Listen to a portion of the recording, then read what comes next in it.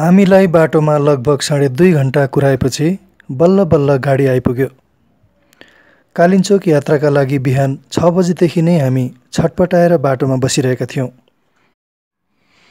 दसजनाको हाम्रो टोलीमध्ये केही साथी नयाँ बानेश्वरबाट गाडी चढेका थिए भने महेश खड्का मिनाक्षी म्याम र फुच्चे आरबसहित हामी चारजना शान्तिनगरबाट चढ्यौँ।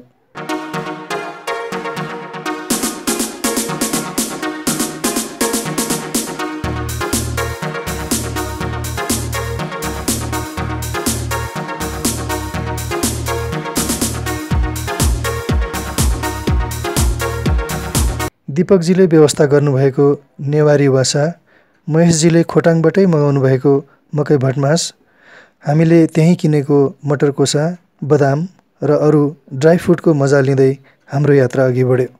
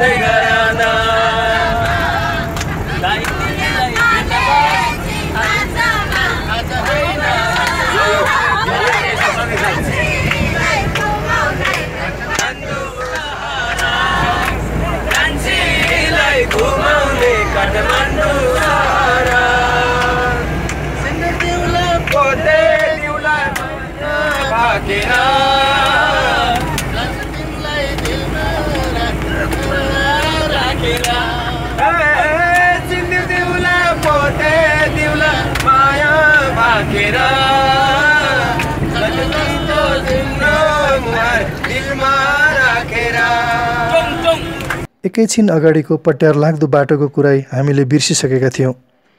यात्रा कौतूहलतापूर्ण र रोमाञ्चक लागिरहेको थियो। हाम्रो गाडीमा टोखाको सोह्रजनाको ग्रुप थियो।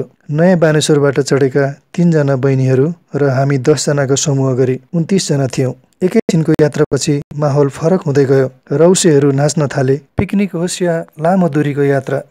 दिपक दाहाल महेश खड्का र अर्जुन भट्टराई भएपछि माहौल रङ्गमय र सङ्गीतमय बन्छ। गीत गाउन र नाच्न रहर नगर्ने म जस्तो निरस व्यक्तिहरूलाई पनि कमसेकम उठेर ताली बजाउँ बजाउँ लाग्न थाल्छ। दिउँसो लगभग साढे बाह्र मुडेमा हामीले खाना खायौँ। खाना साह्रै मिठो थियो।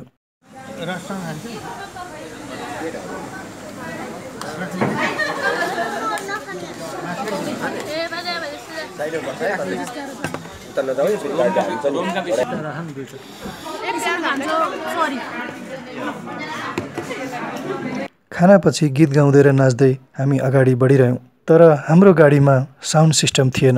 साउन्ड सिस्टम भएदेखि यात्रा अझै रोमाञ्चक बन्छ भन्ने कुरो मलाई थाहा थियो। मैले साथीहरूलाई जसरी भए पनि बाटोमा साउन्ड बक्सको व्यवस्था गरौँ भनेर उक्साइरहेँ। खाडी चौर गएपछि किनौ साउन्ड सिस्टम किनौ साउन्ड सिस्टम? हे बराई हे बराई सालको पाता टपरी हुने हे बराई नहुने सल्लाइको केही स्टेसन पार भएपछि हामीले साउन्ड बक्सको व्यवस्था गऱ्यौँ। धुलो उड्ने र उबड खाबड कष्टकर बाटो कति बेला कट्यो त्यसपछि हामीलाई पत्तै भएन। टोखा ग्रुपसँग हामीले दोहोरी पनि खेल्यौँ।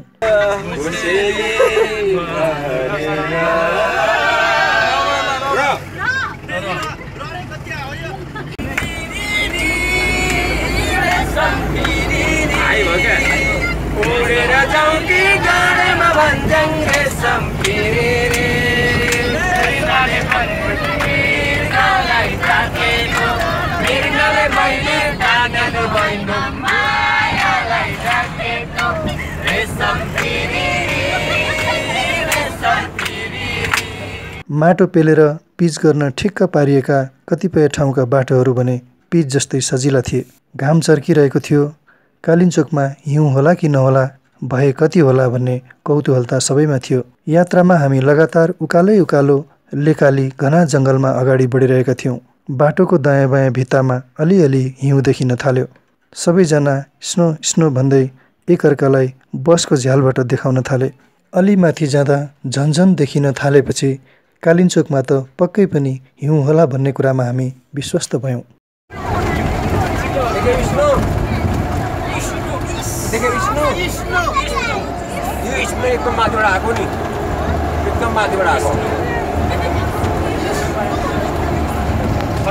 एकदम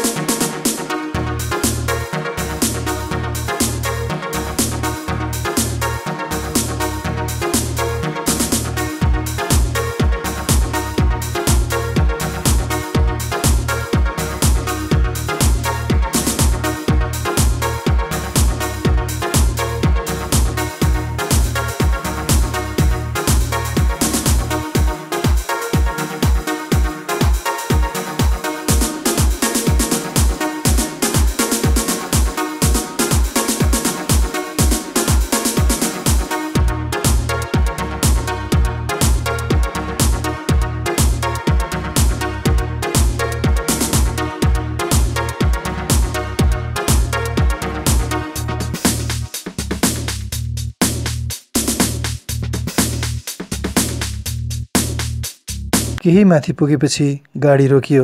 बाटाका दायाँ बायाँ भिरालो जङ्गलभरि छपक्कै हिउँले ढाकेको रहेछ। हामी त्यहीँ खेल्न थाल्यौँ।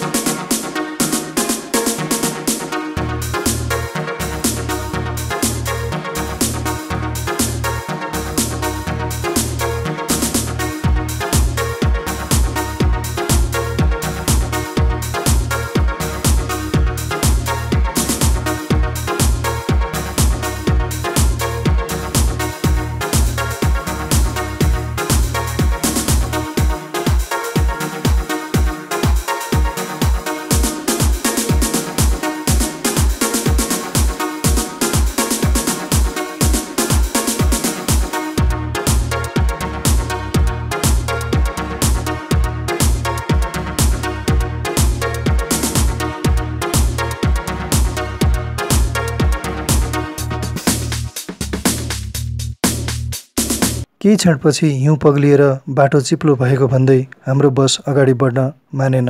आधा घन्टादेखि पैँतालिस मिनटसम्म हिँडेपछि होटलसम्म पुगिन्छ भन्ने जानकारी पाएपछि हामीमध्ये केही पैदलै उकालो लाग्यौँ भने केही साथीहरू मसिना गाडीमा जाने भए। त्यहाँ हामीले मोटरसाइकलले नतानेर अलपत्र परेका केटाहरू पनि भेट्यौँ तर बाटो हामीले सुनेको भन्दा केही टाढा नै रहेछ। कतिपय ठुला बस पनि माथिसम्म गएका रहेछन् तर हामीलाई बसले निकै तल छाडिदिएको रहेछ। हामीसँगै हिँडेर जाने अरू धेरै साथीहरू पनि थिए। साँझ पर्न लाग्दा हामीले साँझ पर्न लाग्दा हामी उकालो चढिसक्यौँ। त्यहाँबाट अलिकति ओह्रालो झरेपछि हामी होटल पुग्दै थियौँ। तर दुर्भाग्य हाम्रो समूहकी एकजना म्याम हिउँमा चिप्लिएर उहाँको खुट्टा फ्र्याक्चर भयो। हामी होटल पुग्दा त्यहाँ क्याम्प फायर सुरु भइसकेको रहेछ। आगोले जिउ तातिएपछि बाहिरको चिसो बिर्सिएछ क्यार फुच्चे आएर हिउँ खेल्न जाने भन्दै झगडा गर्न थाल्यो।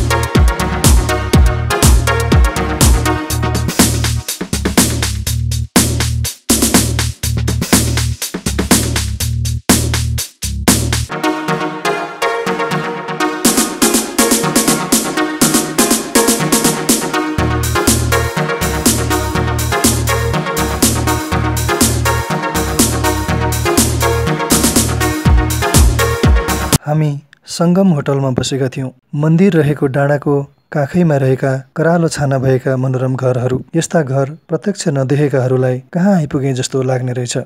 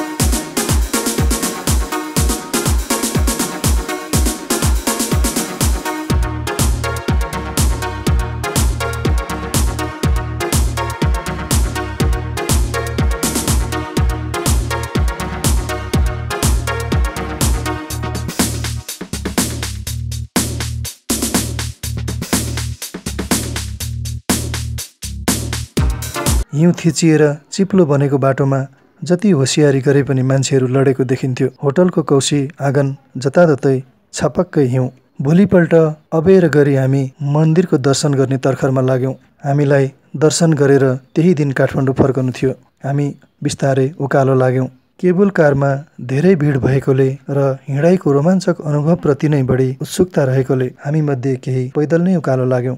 बाटोको दायाँ बायाँ गुराँसे जङ्गल हिउँले छपक्क छोपेको थियो भने हिउँ थिचिएर बाटो अति नै चिप्लो बनेको थियो। केबुल कारको लाइनमा जति मान्छे थिए त्यति नै हिँड्नेहरूको पनि ताती थियो। हिमाल नजिकै देखिन थालेका थिए। यहाँ एउटी युवती लडेर घाइते भएकी रहेछन्। बाटोको छेउमा फलामे रेलिङ नहुँदो हो त यो चढ्न असम्भव नै रहेछ। करिब करिब चार पाँच ठाउँ यस्ता चिप्ला र खतरनाक उकालोहरू रहेछन्। हामी मध्ये कसैले पनि काँडेदार जुत्ता लगाएका थिएनौँ। यो कुरा न त हामीले सोच्यौँ। न हामीलाई कसैले सचेत गरायो। यस्ता ठाउँमा जाँदा टेक्नका लागि फलामे स्टिक र काँडेदार जुत्ताको व्यवस्था गर्ने हो भने चिप्लिएर लड्ने सम्भावना धेरै कम हुने रहेछ। डेढ घन्टा उकालो चढी हामी माथि पुग्दा केबल कार चढ्न पर्खिएकाहरूको पालो आउन अझै बाँकी थियो। माथि मन्दिर होला भन्ने हामीलाई लागिरहेको थियो। माथि पुगेपछि उकालोको थकान मेट्न एकछिन चौरमा डङरङ्ग लडौँला भन्ने कल्पना गरेको थिएँ मैले तर माथि मन्दिर रहेनछ।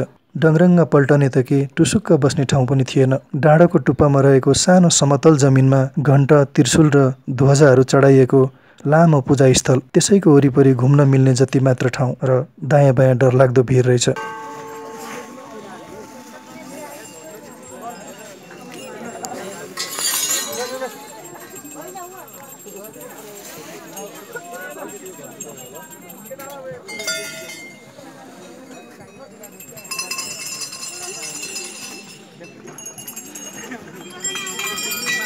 ल ल उ यहाँनिर आउनु।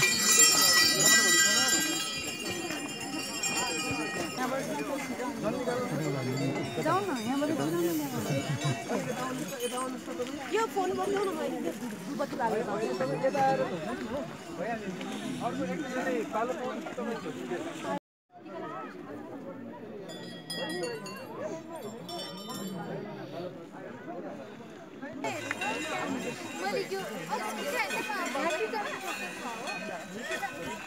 बत्ती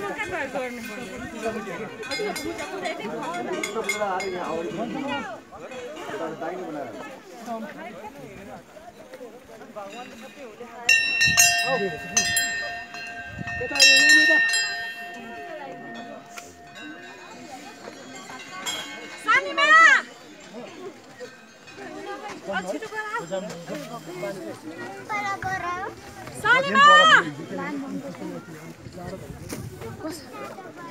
ए सर आवाज सुनेको छैन बालिदिनु त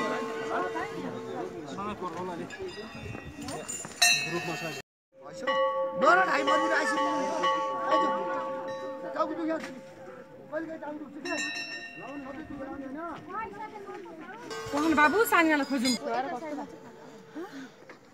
म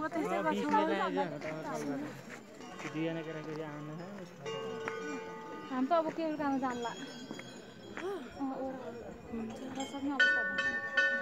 ए हिँडेर नै सकेन।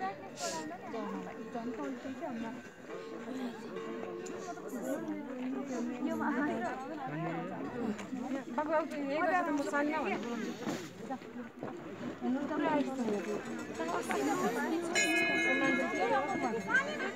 डाँडाको टुप्पोमा मुस्किलले केबल कारको स्टेसन बनाइएको रहेछ। यात्रीहरू केबल कार चढ्नका लागि अत्यन्तै जोखिमयुक्त भिरमा लाइन बसिरहेको दृश्य साँच्चीकै अनौठो र डरलाग्दो थियो। हामी दर्शन सकेर होटल फर्कँदा छानामा थुप्रिएका हिउँ पग्लेर पानी झरिरहेको थियो। बाटोमा पनि जरुवा झैँ ससाना मुहान बगेर जताततै हिलाम्मे थियो। हामी जसरी अगाडि पछाडि भएर केबल कार र पैदल यात्रा हुँदै मन्दिर पुगेका थियौँ। फर्किँदा पनि अगाडि पछाडि भएर अबेला गरी हामी होटलमा भेट भयौँ। दुर्घटनावश एकजना म्यामको खुट्टा फ्र्याक्चर नभएको भए हाम्रो यात्रा निकै रोमाञ्चक र सुखद नै हो। तथापि हामी एउटा रोमाञ्चक र अविस्मरणीय यात्राको सम्झना बोकेर काठमाडौँ फर्क्यौँ।